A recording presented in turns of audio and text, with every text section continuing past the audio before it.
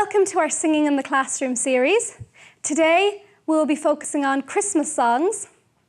The theme of today's lesson is Jingle Bells. So I'm going to begin by singing the song.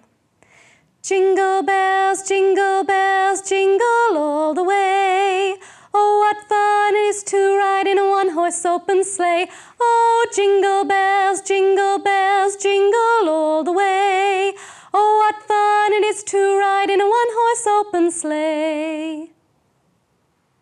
One way that you could do this in the classroom is by experimenting with percussion. Sleigh bells work particularly well given the Christmas theme, but today I'm going to use a shaker. You can use whatever you have in hand in the classroom. Jingle bells,